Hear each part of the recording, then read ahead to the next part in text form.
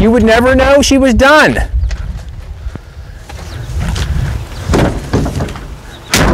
Look at that now, would And- you? That looks good. Well done. I didn't prep it out. I I did all my work and Yeah? then just Went for it. because I don't know when I'm gonna paint it. Yeah. So You would never know. You would never know. Excuse me. You would never know. Awesome. And I never altered those windows. Yeah. The the, the windows where the uh, the factory we took the that they didn't change, so you didn't change the angle on that post punch. The only window that had to be cut was the front windshield. Yeah. Yeah. So the rest of the windows I had all done green, kind of like a 60s. So when you cut your garnish moldings, two pieces of tape. When you cut your garnish moldings, two pieces of tape, exact same way. Well done. Well, I carry my my leftovers with me most places. So this is like hinges and Yeah. uh, and door posts. And then That's cool. I, I kept the tape, the tape, you know, Yeah. and then uh, and then the garnish moldings. That was pretty basic, wasn't it? So, it, real simple. Yeah. Real simple. That was a, good way of doing it. And I tell people, uh, we didn't even use measuring tape. I says, after we welded it, we thought, well, let's see if we're close. So, It's got three. Are you running all three carbs in this thing all the time? That's cool. so let me tell you the history of Yeah. this car. So this car, gentleman came over from China in 1932, and in 1933, he bought this car brand new. It, apparently, it cost him 425 dollars. So he came over on a steamship from China in 32. I don't know if I would have wanted. I, I'd go out in anything. Good thing it wasn't the in the Titanic. ocean. Yeah, it wasn't the Titanic. and then in 1948, he sold it to his oldest son and traded it for a typewriter. Seems like a good deal. A typewriter. Well, I don't know. I, I you know, I googled uh, typewriters in 1948. A typewriter is worth $400, almost as much Are as a new car. Wow. And then that older brother sold it to the, his younger brother that I bought it from. And he is 103 years old and he still drives today. Are you serious? I'm serious. Wow. So I've known where the car was for 35 years, but he would never sell it to me.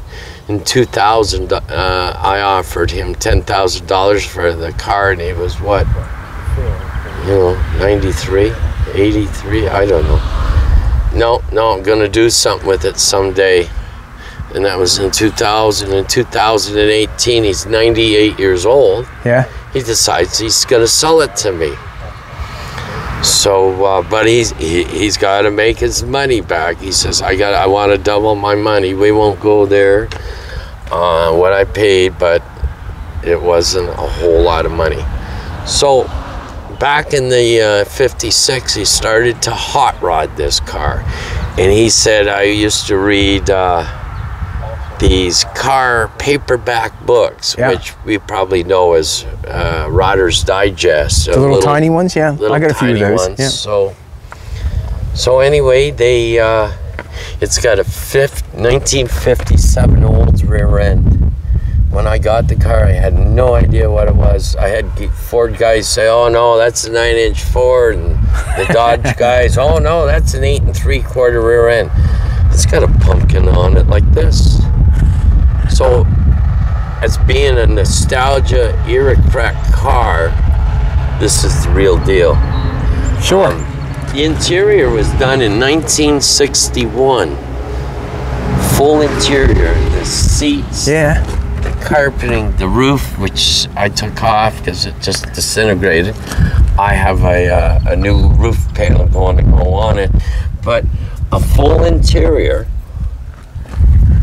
He said I had to. I thought I was going to have to go out and rob a bank to pay for it. I said, 1961. What would have it cost? He says, $375. That seems like a lot back then, doesn't it? Doesn't it? I don't know. Uh, full interior, seats, door panels, roof, carpeting, all Well, it's not a lot. stitched. It's not a lot, three hundred dollars, but But he said he brought home good money. He's, Yeah. He brought home $25 a week in 1961. there you go. So it, it held up pretty good. But in 1964, he decided to store the car. And it, it was stored from about 64 to 19 or 2018. This was in the garage of a house I rented for almost 20 years. Oh, you got to see the car every day then. I used to chain my Harleys to the front bumper. I thought you want my bike, you got to take the car with it. There you go. So the motor is a 1958 283 Right on. Tri power. All Yeah. three carburetors work. It's got a two-speed power glide. This motor was C-solid. It took me almost six months to get it to turn over. I, I would trickle tranny fluid over the drivetrain with an eight-foot bar and slowly, you know, tweak it. And I'd Yeah. come back a week later and do a little more. But it took me about, and then I had something like 185, 195 compression. I thought, this is the motor that you know it's going to run. And um, I rebuilt the carbs, and uh, it, it broke my heart to put an alternator on it because I this is the real deal. Yeah. I mean, I, I did I wouldn't even use wire connectors when I rewired this car because if I'm going to use wire connectors, well, then maybe I better put it at a height its front end to make it better. And no, so I I would twist the wires, solder them, tape them, I know where you're at. and uh, I, it was so so important to keep the history of this Yeah. car alive. I- you know, Nerf bars. Yeah, exactly. I like Right. this. This is cool. That's Nerf cool. bars. The, the, that, they were on this car. Um, the f- uh, steering column, the steering box, the front axle is out of an Econoline, 1961 Econoline. She's the real deal. I said, well, why did you do that? Well, we went into the village of Newmarket. We took a brand new pickup truck and drove it down the road. He says, The chances of getting caught, he says, you may not get caught for a year driving a stolen vehicle back then. that was the caught. parts vehicle. You know, you caught for a year. No, it looks So I know the car's never been apart from the firewall back. The running boards have never been off. The fenders have never been good. See off. that? He just kicked them with these with these. I it's a car. yeah, You know, yeah. It's used, abused, and cruised. Used, abused, and cruised, and it's got a and it's got a toe. I just did that last uh, week just Okay. because this is my gas tank, Yeah, and you know I needed uh, my wife's uh, handicap, so yeah, you know this is quarter inch wall, yeah. and I did it between the frame rails. If you run into me, uh, you know I'm not going to worry because before it was just like an old Pinto. It would have just folded and and We did a Pinto, and it and it would have folded. well, I, yeah. So No, it looks good. I stripped the car two years ago, and I did one rust repair. Yeah, One rust repair in the right front fender, about two toonies wide. That was it. There was uh, plastic in the car. I couldn't understand why. I took about two gallons of plastic out of the car, and so it was probably bonded up in 58, 59. Now I'm not sure if they had sanding boards and I'm not what sure they either. had, or just I know their I, I know their grinders were massive. You know what I mean? Oh, they I've never got had one of them. they never yeah, had a yeah, mini yeah, yeah, yeah, it's- it's- yeah. two-hander. Um, yeah, so uh, it, it was full bondo. I don't, I don't understand why. I've got pictures of it stripped down, and uh, so I, I started that fender and went all the way around. I knew there was a contour missing on this car, and it's the contour right here on the fenders. So it's much like this contour Yeah. down here. So by the time I get to the last fender, I find out why they They deleted it? Deleted it, uh, monoed it in. Yeah. Uh, the right front fender's been hit. It's full of lead. It's full of uh, brazing. It, it, it was ju- it was just a mess. And probably the, the proper way would have been to cut it out, uh, build a whole new piece in the Yeah. fender. But uh, so I, so then uh, I, I went back and got rid of that lip or that little contour. And it's only about a quarter inch wide. Even the gauges in the car, there's uh, other than my oil amp and uh, water, uh, they're the original gauges that were in the car. Right on. Yeah, those are all the you know. uh, As Stewart, wa- they they even had a uh, hour gauge in it. Why? This is a, a homemade shifter in it, and so the shifter is stainless. It goes down. Yeah. They bent it, and it goes through a couple wheel nuts that are welded to the floor. then it goes across, and then and then it, it goes down to the linkage. It does the work. It does And the job. reason they did that, if I had to put a, a shifter in this car, it, it would end up, uh, it would end up uh, right here, right Yeah. between my legs. So, so I left that. It, it's a mystery shifter. Don't lock in. You know, it just works off the transmission. It don't have any indents, so you don't want to be doing any speed shifting. So yeah. So now, um, from your show, uh, from the chop, been on, I've had offers all over the world. They gotta have this car because you chopped it. Are you serious? I'm serious. I Wow. got two ridiculous offers from uh, Australia. And no, it's not for sale. It, it never will be. Not, you know. Not in your time, eh? baby. It's your baby. It's my baby. I, I wanted this car for almost 35, 40 years, and he would never sell it to me. And so, The, the, I, what I will say, the chop does look right on it. You you could not, you know, you wouldn't um, be sure, but we know for sure. If you know, if you walked up on it, you wouldn't know for sure. no, no. You know what I'm saying? People don't Yeah. even notice the uh, third hinge. They think it's a Ford because there's no third hinge in there now. Ah, right. So, uh, a lot of people think I've. I had to lay awake at night at, at the at the at that um, motel we were at because I was thinking, geez, I'm gonna cut the hinge out of that car. I had to, like, you know what I mean? Like, I had to kind of figure it out as we were going, but it worked out good. Well, this was the cleanest and neatest job I've ever seen. I had people at the show approach me. We hadn't even well put any tax in Right. there. And it was in, Yeah. and I had a, a, a police officer friend come up to me and thought it was all welded and, and ground down. He says, Wow, look at that. I says, I, I, says, it's just sitting in there. I says, we haven't even Anyway, welded it yeah. yet. Yeah. And uh, yeah, so, and I know people at home now Are are doing fans of yours Yeah. that have chopped their, their vehicles and sliding them down. You know, Yeah. you made it look so simple, and we did it, and you did it in what four hours? Yeah, it was pretty. It was Who pretty does- good. Who does a chop in four hours? I'm, I'm not sure. you do, but I'm not sure. It went well. Like I was quite. I went well. Like I was Yeah. happy with this. Yeah. I was just happy with the, what we took out of it. The window come down the exact same as your, you know, around with your oh, with oh, the rest of Oh, you it. know what? The, the, the back it- window it- and the side windows are in line now. If we'd have cut that out, I'd you know what kind of time we'd be into putting Oh, that yeah. back in there. Oh, like yeah. we've been into quite a bit of time, yeah. eh? And uh, it just seemed like the the right thing to do. The other funny thing about this, I have a, a, a, back, a rear view mirror Yeah. that wa- was in this car, and I and, and people, oh, you got to get rid of that. When's the last time you seen it? Oh wow! Five different views. I see out every window as clear Yeah, as that's too. can be. That's too funny. Yeah, yeah. So. Uh, That's back in your disco days. And these the flames, like I, I primered the car. Yeah. It's in black primer.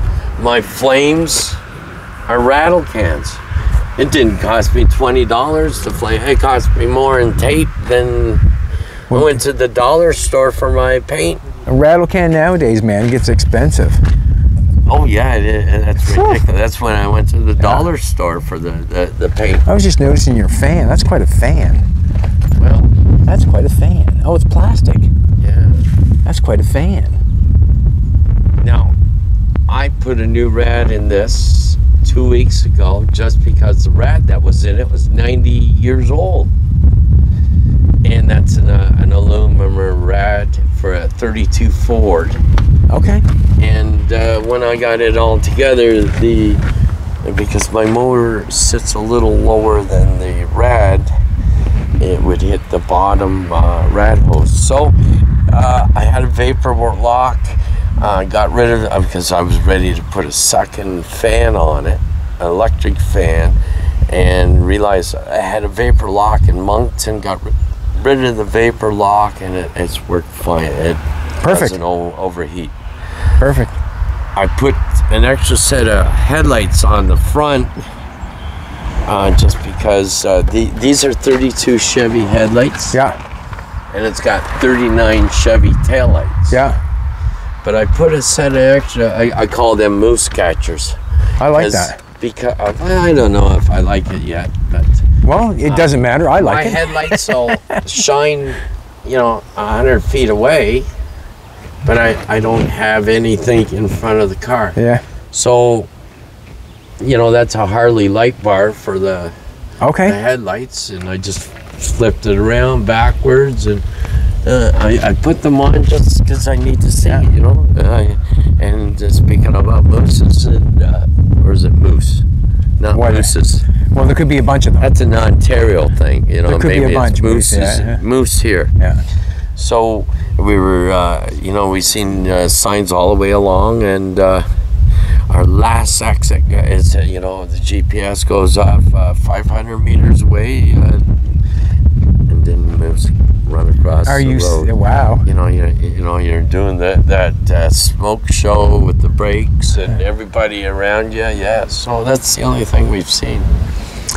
The the I don't know if it's Plymouth or a Dodge. We did videos on the fenders of that years ago.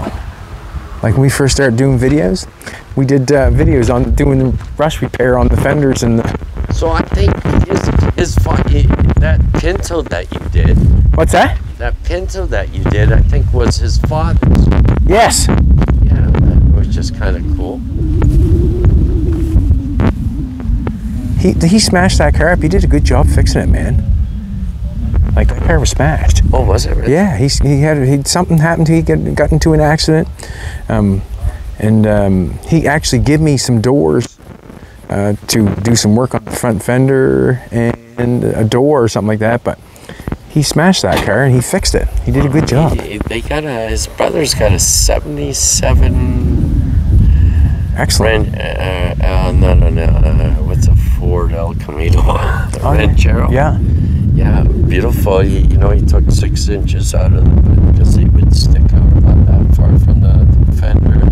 Took, you know, six inches out of it and narrowed it. And it did a nice roll pan. Beautiful car. Wow. We seen it last night. This is the exact same car as Way to Heaven. Just a little different front end, but the body and the doors and all that stuff are exactly the same. Cool. Looks good. Looks real good. Looks good. Awesome. I've seen this guy's car before. He was at the car show in Louisiana. It's quite the quite the decals on the trunk Oh, lid, isn't it? Quite, quite a job. Huh? Is that is that muraled or? You paint that on? See? Paint that on? Yeah, Well done. that's painted, eh?